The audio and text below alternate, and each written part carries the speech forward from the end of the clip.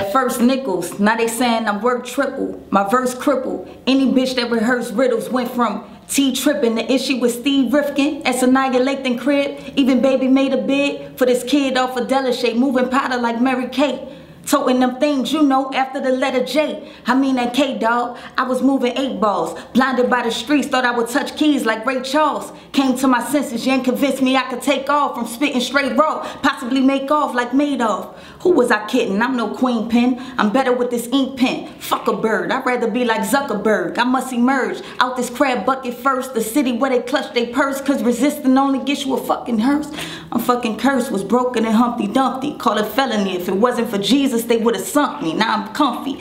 Down and out in Prime 112. And now I owe a nigga shit. I write these lines myself. Lost a few friends. It only helped me find myself. Redesign myself. Got on the grind myself, nigga. And now I'm out the city often, blowing up like the bombs at the marathon in Boston. Straight as the perm on Mr. Alfred Shelton, I'm business-minded bossing. Homie, I am awesome.